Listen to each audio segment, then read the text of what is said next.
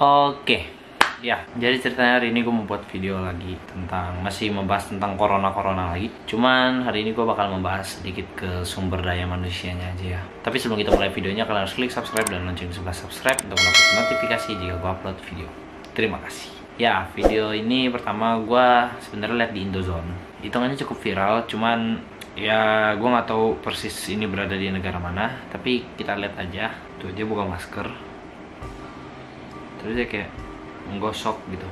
Gosok di tiang gosok di pegangan kereta gitu. Jadi orang-orang yang megang itu otomatis akan terkena air liur ya tapi kan gini loh misalnya. Kalau lo kena penyakit kenapa lo harus bisa nyebarin ke orang-orang gitu? Kan lo harusnya sembuhkan diri dan jauhkan dari orang-orang agar orang-orang lain itu tidak terkena virus tersebut kan. Tapi orang kayak gini memang harus ditembak mati langsung kayak gue rasa ya kemarin gue juga dapat dari cewek gue cewek gak ini ngomong. Ya pokoknya gitulah dapat dari cewek gue ada satu kasus di mana gue gak bisa sebutin sekolahnya di mana. Pokoknya kasus itu anaknya ini pergi ke Yerusalem untuk ibadah tujuannya kan. Nah di Yerusalem itu mereka berdua itu terinfeksi. Jadi anaknya udah terinfeksi duluan duluan baru ibunya. Nah pas terinfeksi itu si anaknya itu udah sekolah 15 hari. Jadi ya nggak tau lah itu ke mana-mana pasti virusnya kan. Jadi dicek dan akhirnya anaknya positif corona dan ibunya positif corona. Nah sayangnya anaknya ini meninggal. Nggak anaknya sih antara anaknya apa ibunya gitu gue lupa. Gue lupa beritanya. Sorry nih ini kayak gimana gitu.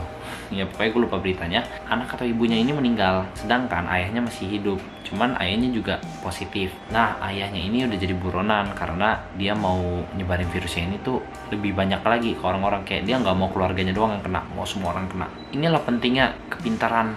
Ya harusnya punya otak sedikit lah. Lu kalau punya virus gitu kenapa lu mau nyebarin ke orang lain? Kalau keluarga lu udah kena itu takdir namanya. Tuhan udah memanggil ya namanya. Ya Tuhan udah memanggil ya bener dong. Gua nggak salah. Dan kalau lu pinter jangan disebarin ke orang lain. Nah ini ada ada lagi nih. Dia menjelaskan si perempuan ini menjelaskan kalau dia itu terkena infeksi corona dan rasanya tuh di paru-paru ada seperti beling yang ngegesek di paru-paru gitu. Jadi kayak lu mau narik nafas kayak perih tajam gitu kayak ada beling yang masuk. Dan dia ngasih tahu kita untuk isolasi diri agar virus itu tidak menyebar. Nah orang kayak gini tuh yang paling patut ditanganin, bukan orang-orang yang kayak gini nih. Kalau gue jadi pemerintah ya, jadi kepala pemerintah yang kayak presiden gue tembak mati. ya pokoknya gitulah. Kita ke panik buying nih. Apa sih panik buying? Panik buying itu kayak misalnya ya orang-orang panik akan tidak adanya makanan gitu, kayak nggak ada kalau di Indonesia kan Indomie susu gitu gitu kan. Terus orang-orang akhirnya pada borong-borong gitu. Kayak kemarin tuh waktu terjadi kasus pertama dan kedua positif tuh kan. Nah itu kayak supermarket Indomaret dan lain-lain itu kayak habis gitu. Soalnya pada panik karena takut kekurangan makanan. Soalnya kan pemerintah juga udah menyuruh kita untuk isolasi. Jadi kita memang harus benar-benar isolasi diri dari lingkungan luar agar virus itu tidak menyebar dong. Nah kira sekolah itu diliburkan 14 hari. Nah, gue ada satu video lagi dari teman gue.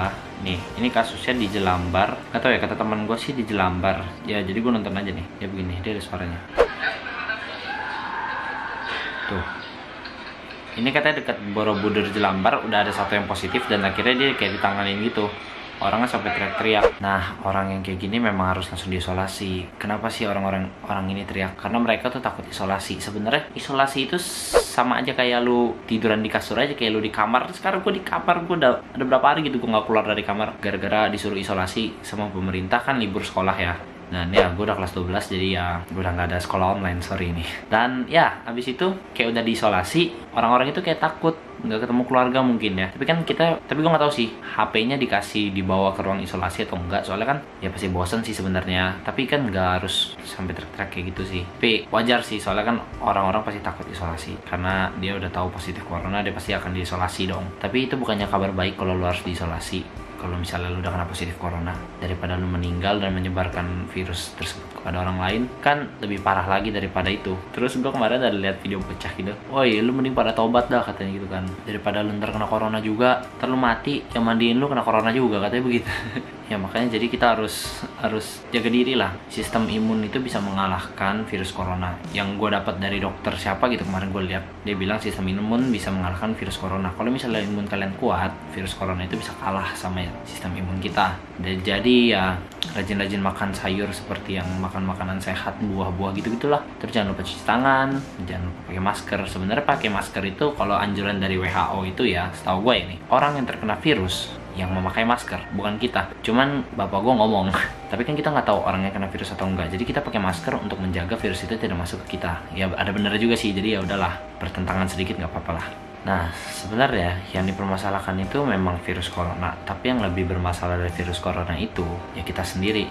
Kenapa? Virus kita itu lebih parah daripada virus corona. Karena ya seperti yang gua kasih video tadi, orang-orang menyebarkan hoax tentang corona mungkin. Terus ada yang panik buying. Terus ada lagi orang yang kayak nyebar-nyebarin virusnya gitu yang kita gua kasih lihat yang dia jilat tangannya atau jarinya terus ditempelin ke gagang pegangan kereta. Itu kan bodoh sekali. Gue tahu manusia memang gak bisa hidup sendiri. Memang harus sosialisasi. Masa iya virus juga lu harus sosialisasi? Kenapa harus disebarin gitu? Seperti yang di China dulu beberapa bulan lalu ada yang kena virus corona. Terus dia kayak gagang pintu diludahin gitu. Kan kurang ajar gitu. Kenapa ya?